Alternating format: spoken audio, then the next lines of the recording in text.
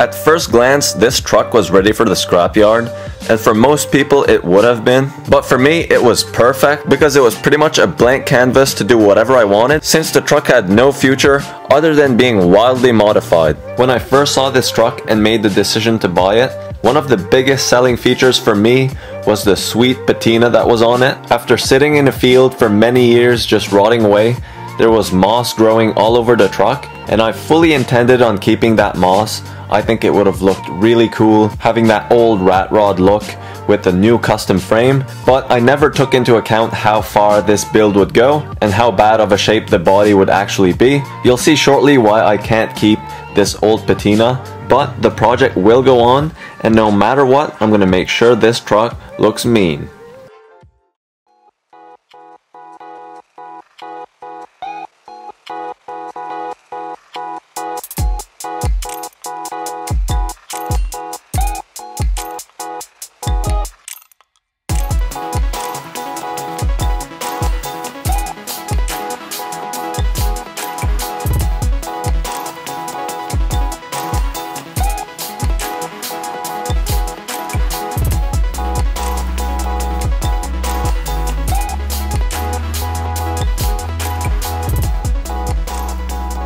So today I'm going to start peeling off some paint off the truck.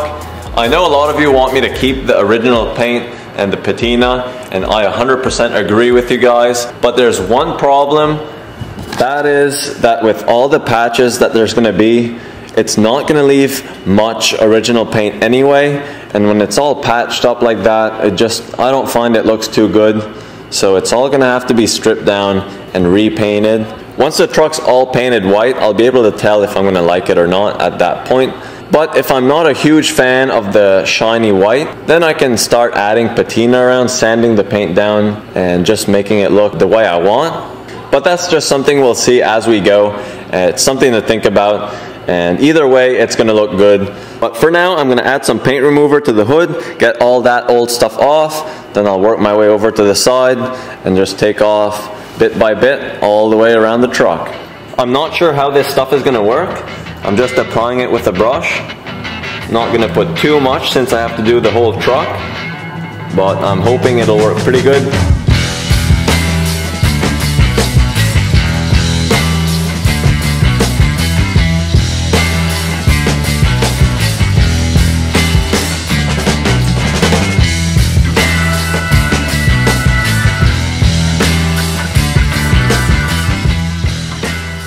So that paint remover seems to work pretty good. You can see that it's pretty much all crinkled up. That's gonna come off pretty easy with the razor blade. That's awesome, it saves me a lot of sanding. We'll see what's underneath all that old paint.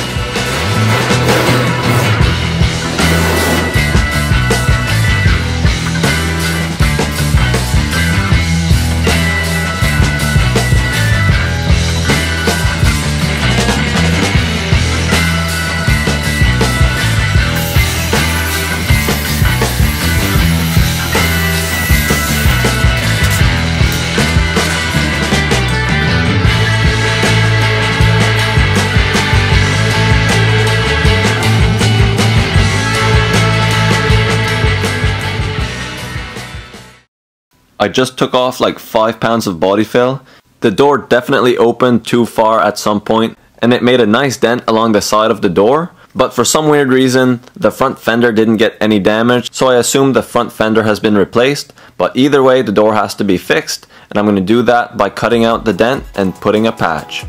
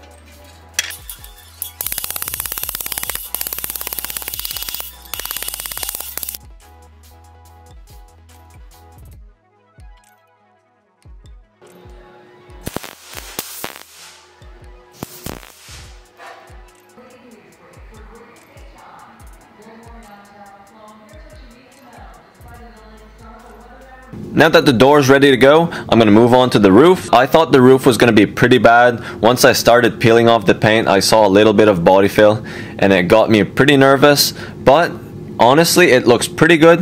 There's not much fixing to do. They had just sanded down a couple spots where it probably had started to rust at some point. The only problem is that now on the edges of the roof it's starting to rust. There's spots where there's holes and in the back the two pieces of metal are starting to come apart. So what I'm going to do now is cut the edges of the roof and peel it off. And I kind of want to see if there's going to be a nest throughout the entire roof.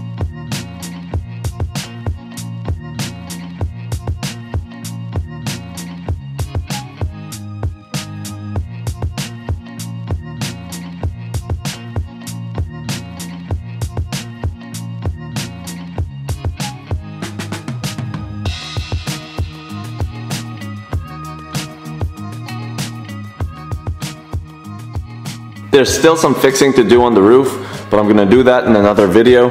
That's gonna be quite a job, but it should be all right. So now I'm gonna put the box back on, I'll put the hood on, just to see how it looks with all the bare metal pieces. I think it's gonna be pretty sick.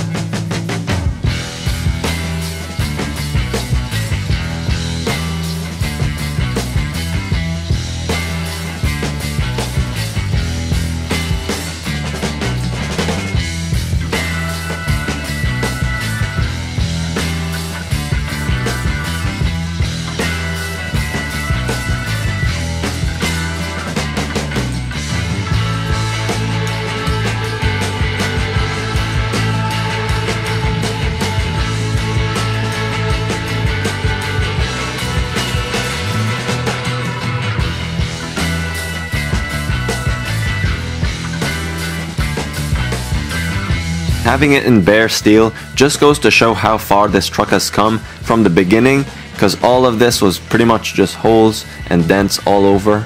To me, the truck looks insane. I can't believe how it's turning out. It's gonna be mind blowing when it's finished. I can definitely see myself driving it and it makes me so excited to keep going on the project to try and reach that goal. And I appreciate all the support from you guys there's been a lot of good ideas thrown in the comments and I make sure to check them all out. Don't forget to subscribe if you like the content. I'll be making a lot more and the project is just gonna get better from here. Thanks for watching. I'll see you in the next video.